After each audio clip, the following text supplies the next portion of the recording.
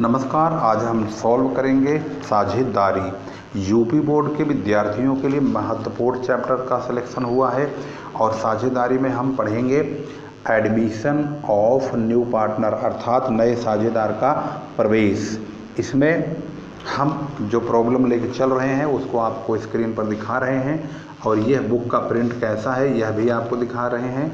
ये बुक का प्रिंट ऐसा है बही खाता लेखा तथा लेखा शास्त्र बुक कीपिंग एंड अकाउंटिंग ये यूपी बोर्ड की बुक है और इस बुक को कक्षा यहाँ पर लिखा हुआ है, कक्षा ट्वेल्व यानी बारह प्रथम प्रश्न पत्र, द्वितीय प्रश्न पत्र, दोनों इसमें मौजूद है और इस वक्त हमारे सामने जो प्रॉब्लम है, आप यहाँ देख सकते हैं स्क्रीन पर। आ और बफ एक फर्मे साझेदार हैं जो लाभ हानि का विभाजन चार तीन के अनुपात में करते हैं। जनवरी 2016 को उनका चिट्ठा इस प्रकार से था। यहाँ पर लेनदार सामान्य संचिति पूंजी खाते, दूसरी तरफ़ रोकड़ बैंक, देनदार, रहतिया, मशीनरी, भवन, पेटेंट।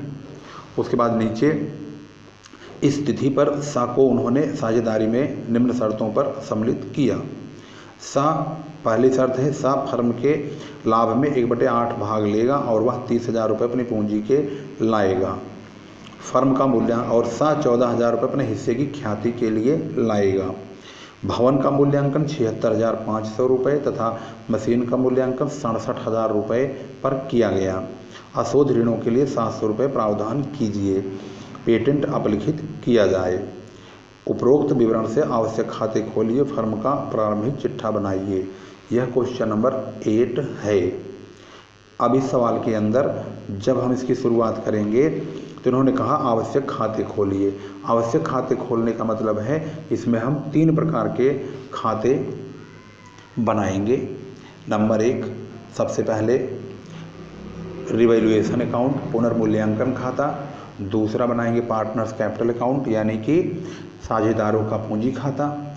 उसके बाद बनाएँगे रोकड़ बैंक खाता, यानी कि कैश एंड बैंक अकाउंट। उसके बाद फिर बनाएँगे बैलेंस सीट तीन तो खाते बनाएँगे और एक बनाएँगे बैलेंस सीट अब ध्यान से बनाना शुरू करते हैं इसको। सबसे पहले हम आपको बारीकी से एक एक पॉइंट को दिखा दिखा करके इसको सॉल्व करेंगे। सबसे पहले नंबर पे रिवैल्यूएशन अकाउंट तैयार किया जाएगा। राइटिंग पर पूरा ध्यान दीजिए, बढ़िया तरीके से सॉल्व करने की कोशिश कीजिए, समझिए इसको। रिवैल्यूएशन अकाउंट में किसी भी प्रकार की एसेट्स में या लाइबिलिटीज़ में अगर कोई भी कमी होती है तो उसका और बढ़ोतरी होती है तो भी उसका ज़िक्र किया जाता है। अगर फर्म के नज़रिए से, अगर उस संपत्ति या लाइबिलिटी में फ़ायदा होता है, नुकसान नहीं होता है तो उसको हम क्रेडिट साइड में डाल देंगे। अगर हमें नुकसान होगा तो डेबिट साइड में डालेंगे। पार्टिकुलर्स और रुपीज़ इस हिसाब से इसके कॉलम को मेंटेन किया जाएगा। अब हम इसके पॉइंट्स पर ध्यान देते हैं। जिन एसेट्स में कमी या बढ़ोतरी होगी, हम सिर्फ़ उन्हीं पर ध्यान देंगे। यहाँ पर सभी बहुत सारी दे रखी हैं तो जिसमें सिर्फ़ उतार चढ़ाव होगा या कमी बढ़ोतरी होगी, उस पर ध्यान देना है, बाकी चीज़ों को इग्नोर कर देना है। जैसे यहाँ पर बताया गया, ये दोनों तो सा का हिसाब किताब हो गया, सा एक बटे आठ भाग के लिए लाएगा, तीस हज़ार पूंजी लाएगा। इसका रिवेल्यूएशन से कोई लेना देना नहीं। सा चौदह हज़ार पर में ख्याति के लाएगा इसका भी कोई यूज़ नहीं। यहाँ से यूज़ है। भवन का मूल्य छिहत्तर हज़ार पाँच सौ रुपये। अब बताया जा रहा है कि हो गया। अब भवन का मूल्य आप देखेंगे, यहाँ पर भवन अस्सी हज़ार का है। जबकि यहाँ पर छिहत्तर हज़ार पाँच सौ रुपया हो चुका। अगर ये परसेंटेज में कहते बीस परसेंट कम हो गया, दस परसेंट ज़्यादा हो गया तो हम भवन का उतना परसेंट काट के कम हुआ है तो डेबिट में और ज़्यादा हुआ है तो क्रेडिट में डालते लेकिन उन्होंने ऐसा कुछ नहीं कहा। इन्होंने कहा इसका मूल्यांकन हुआ छिहत्तर पाँच सौ। अर्थात पहले भवन अस्सी हज़ार का था, लेकिन अब छिहत्तर पाँच सौ का हो गया। इसका मतलब पैंतीस सौ रुपये भवन का मूल्य अब कम हो चुका है। तो यहाँ पर लिखेंगे टू बिल्डिंग टू बिल्डिंग, और यहाँ पर पैंतीस रुपये कम हो गया, पैंतीस रुपये लिख दीजिए। दूसरा पॉइंट कहता है मशीनरी का मूल्य सड़सठ हज़ार रुपये पर किया गया। मशीन पहले कितने की है? ध्यान से देखेंगे, साठ हज़ार की है। अब सड़सठ हज़ार की हो गई। इसका मतलब है मशीन का दाम सात हज़ार रुपये बढ़ चुका है। बढ़ने के बाद हम इसको क्रेडिट साइड में डालेंगे, क्योंकि संपत्तियों के बढ़ने से हमें फ़ायदा होगा। संपत्तियाँ बढ़ेंगी तो क्रेडिट में और घटेंगी तो डेबिट में। लाइबिलिटीज में उल्टा होता है। लाइबिलिटीज घटेगा तब क्रेडिट में होगा, और लाइबिलिटीज बढ़ेगा तो डेबिट में होगा, क्योंकि लाइबिलिटी उसको बोलते हैं जो पैसा हमें किसी को देना है। अगर जिस व्यक्ति को हमें देना है, अगर उसे पैसा कम देना होगा तो हमारा फ़ायदा होगा। अगर उसे ज़्यादा देना होगा तो हमारा नुकसान होगा। अगला पॉइंट है, अशोध ऋण के लिए सात सौ रुपये का प्रावधान किया जाए। ये प्रोविज़न फॉर बैड डेब्ट्स है, इसको बैड डेब्ट्स भी लिख सकते हैं। इसका मतलब है, ये हमारा डूबा हुआ पैसा है, सात सौ रुपये इसको बोलते हैं, ये जो हमारे ग्राहक होते हैं डेप्टर्स सनरी डेटर ये ग्राहक हमारे पैसे सात सौ रुपये मार लेंगे या लेके भाग जाएँगे। या हमें उम्मीद है कि सात सौ रुपये हमारा डूबता हुआ नज़र आ रहा है। इसके बाद कहाँ पेटेंट अपलिखित किया जाए तो पेटेंट ख़त्म कर देंगे तो पेटेंट हमारी एसेट साइड में है। इसका मतलब हमारा पेटेंट नुकसान हो रहा। अपलिखित करिए, अर्थात ख़त्म करिए। ख़त्म कर दीजिए। अर्थात हमारा पेटेंट अब पेटेंट की वैल्यू लेस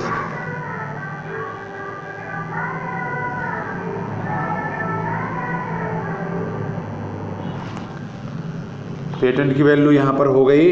यहाँ बोला अपलिखित कर दो, यानी सारा का सारा समाप्त कर दो। पेटेंट बयालीस सौ का है और सारा समाप्त करने पर पूरा बयालीस सौ ख़त्म हो जाएगा।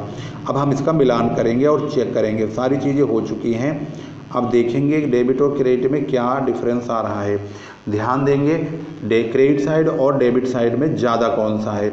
ज़्यादा है डेबिट साइड, अर्थात ये है आठ हज़ार चार सौ रुपये और ये है सात हज़ार।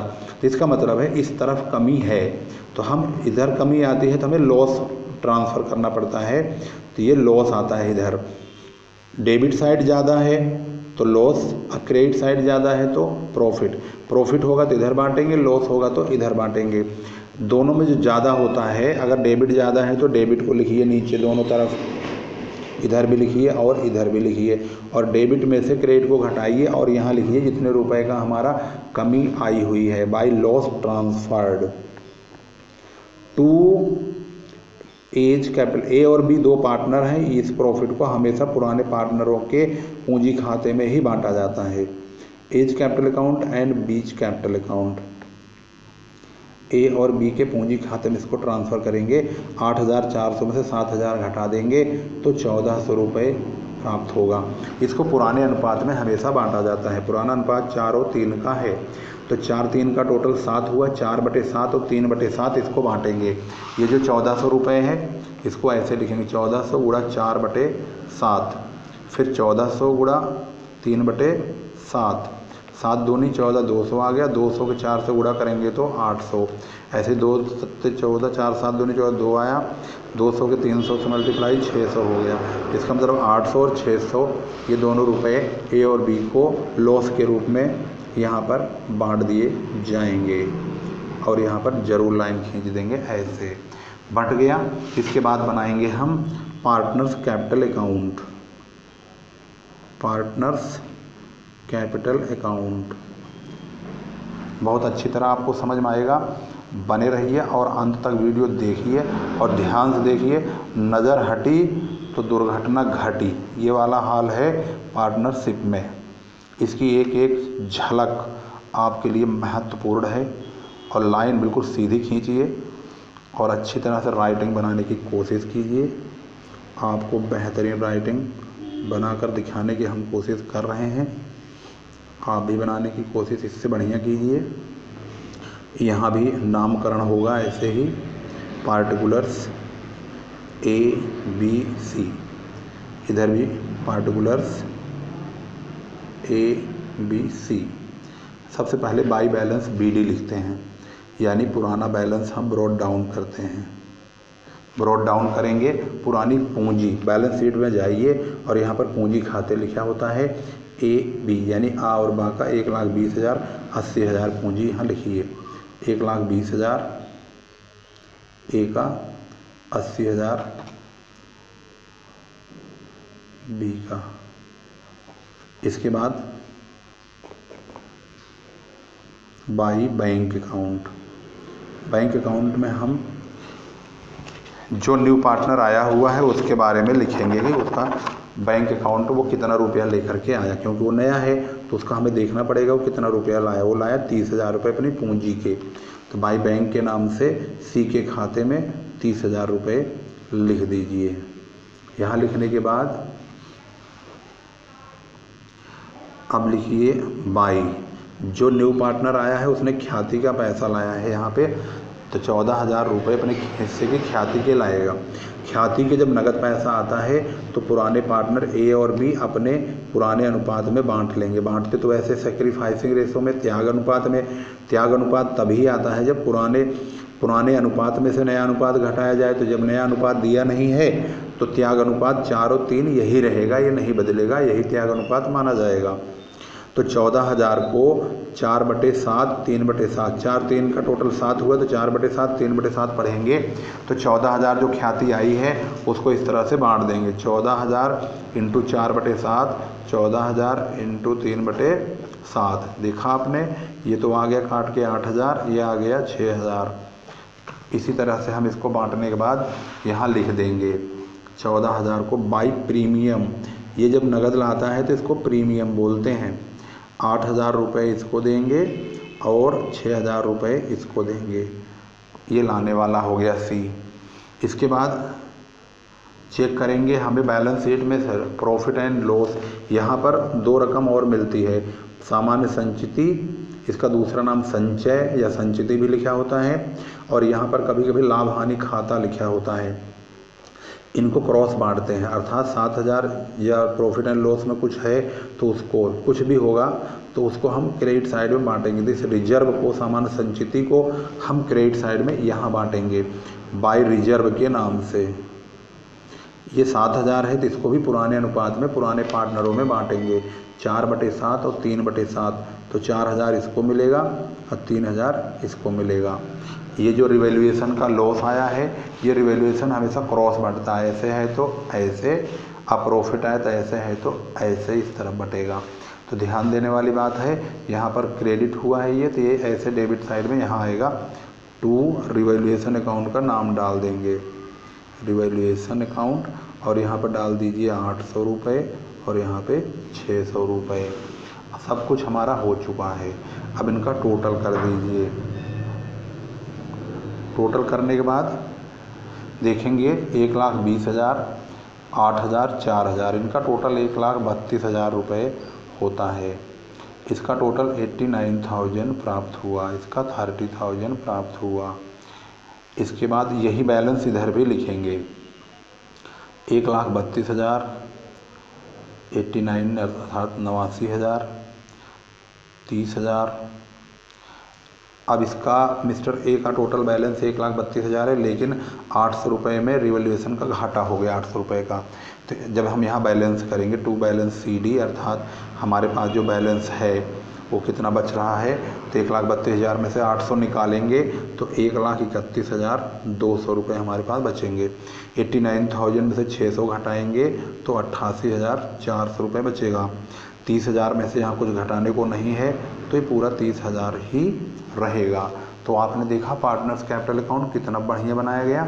अब बनाएँगे हम cash and bank account cash and bank account confusion हो जाता है कैश है कितना बैंक कितना है। तो इसलिए हम कैश और बैंक को मिक्स करके बना देंगे। इससे कैश भाई कैश पैसा हमारे जेब में है या हमारे बैंक में? आजकल डिजिटल इंडिया हो गया है तो कैश और बैंक दोनों बराबर हो गया है। जेब में पैसा हो या पेटीएम में पैसा हो, बैंक वाला पैसा भी हम हैंड टू हैंड यूज़ कर ले रहे हैं।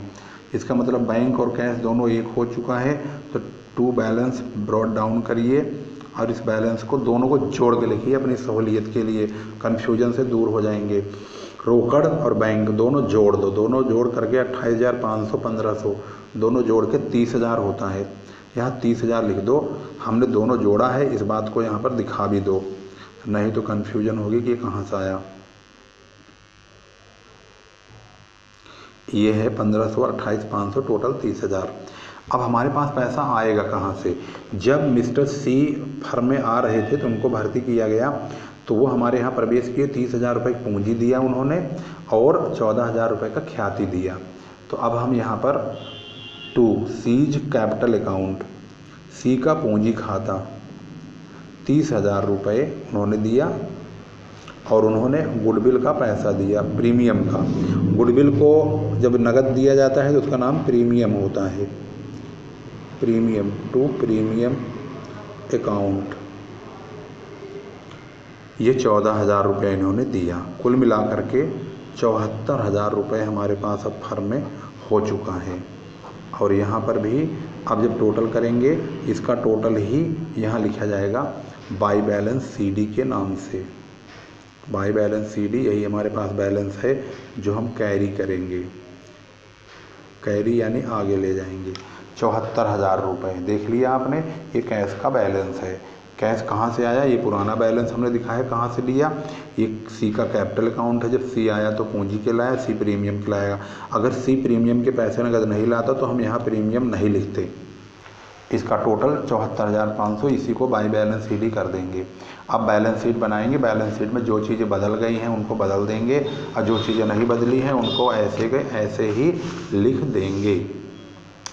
अब देखेंगे बैलेंस शीट बनाने चल रहे हैं। देखिए सबसे पहले यहाँ पर बैलेंस शीट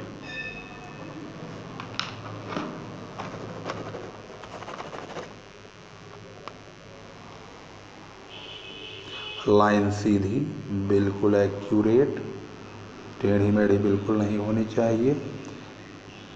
राइटिंग बिल्कुल बढ़िया स्मूथ राइटिंग साफ़, स्वच्छ। इधर आता है लाइबिलिटीज इसमें डेबिट क्रेडिट नहीं होता है। टू बाई नहीं लगाते हैं। इसका ध्यान रखेंगे। लाइबिलिटीज एसेट्स लिख दिया। सबसे पहले बुक में ही देखेंगे, बुक में से ही सब चीज़ उतार लेंगे, ऐसे कैसे इधर से देखिए आप, सब चीज़ ऐसे उतारेंगे, लेकिन जो बदल चुका है उसे बदल दीजिए, जो नहीं बदला है उसको ऐसे लिखिए। लेनदार है, लेनदार हमने कोई छेड़खानी तो की नहीं है तो लेनदार यानी क्रेडिटर्स, इनको ऐसे ही लिखिए जैसे हैं। सत्ताईस दो सौ के हैं, सत्ताईस दो सौ ज्यों का त्यों उतार दीजिए। उसके बाद सामान्य संचिति हम बांट चुके हैं सामान्य संचालित कोई यूज़ नहीं करेंगे। पूंजी ए और बी की दे रखी है पहले। अब हमने पूंजी खाता यहाँ बनाया हुआ है। पूंजी खाता आपने देखा। अब ये बैलेंस सीडी जो पूंजी है, एक लाख बत्तीस, इकतीस हज़ार दो सौ, अट्ठासी चार सौ, तीस हज़ार जो बैलेंस सीडी का पैसा है, यही बैलेंस शीट में डालते हैं। तो यहाँ पर लिखिए कैपिटल ए का, बी का, सी का।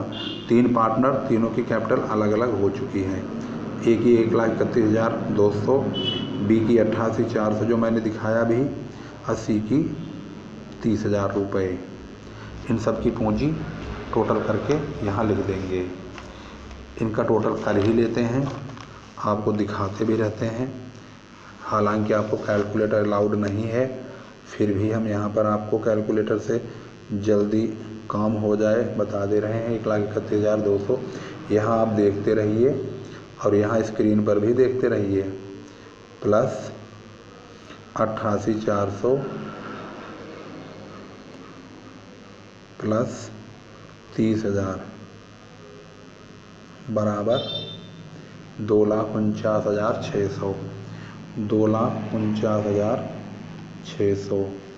अब पहुँचते हैं एसेट साइड में। देखेंगे तो यहाँ पर है रोकड़ और बैंक दोनों।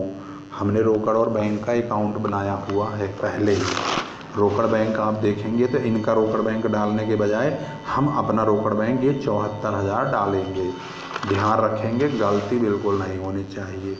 अपना रोकड़ बैंक डालेंगे यहाँ लिख देंगे कैश एंड बैंक। चौहत्तर हज़ार रुपये ठीक है? इसके बाद देनदार। देनदार डेप्टर्स को बोलते हैं। ये डेप्टर्स हैं। हमारे डेप्टर्स तीस हज़ार के थे। तीस हज़ार में से सात सौ रुपये हमारे डूब चुके हैं, जो कि हमने स्टार्टिंग रिवेल्यूएशन के टाइम दिखाया था, ये रहे। बैड डेट्स सात सौ रिवेल्यूएशन में तो उन सात सौ को माइनस कर दो। तीस हज़ार में से सात सौ रुपये हटा देंगे तो हमारे पास उनतीस हज़ार तीन सौ रुपये बचेंगे। उसके बाद बैलेंस शीट में चेक करते हैं, अगला आइटम रहतिया स्टॉक यहाँ स्टॉक के बारे में कोई इन्फॉर्मेशन नहीं है, न तो कम हुआ है, न ही ज़्यादा। स्टॉक जितने का है, उतना ही लिख दीजिए। स्टॉक तीस हज़ार का है तो तीस हज़ार लिखिए। मशीनरी मशीनरी है साठ हज़ार, लेकिन यहाँ बोला गया साठ हज़ार नहीं, अब सड़सठ हज़ार लिखिए। सात हज़ार जोड़ के लिखिए। तो हम मशीनरी को लिखेंगे साठ हज़ार में सात हज़ार जोड़ करके हम लिखेंगे सड़सठ हज़ार रुपये सिक्सटी सेवन थाउज़ेंड रुपीज़ उसके बाद बिल्डिंग बिल्डिंग है अस्सी हज़ार, लेकिन नीचे बोला गया कि छिहत्तर हज़ार पाँच सौ हो गया, पैंतीस सौ कम हो गए। यहाँ पर बिल्डिंग लिखिए। बिल्डिंग अस्सी हज़ार में से पैंतीस सौ माइनस कर दो। कभी कभी ये रकम कंफ्यूज करती है तो रिवेल्यूएशन अकाउंट में देख लो कि हमें क्या घटाना, क्या बढ़ाना है। मशीन बढ़े हुए की तरफ़ है, यानी क्रेडिट में है तो इसे जोड़ेंगे, जोड़ दिया है हमने। बिल्डिंग ये रहा, पैंतीस सौ। बिल्डिंग में पैंतीस सौ घटेंगे, घटा दिया, तभी तो छिहत्तर पाँच सौ आएगा। इसके बाद यहाँ पर बैलेंस शीट में पेटेंट लिखा है। नीचे बोला गया, पेटेंट अपलिखित कर दो, यानी ख़त्म कर दो।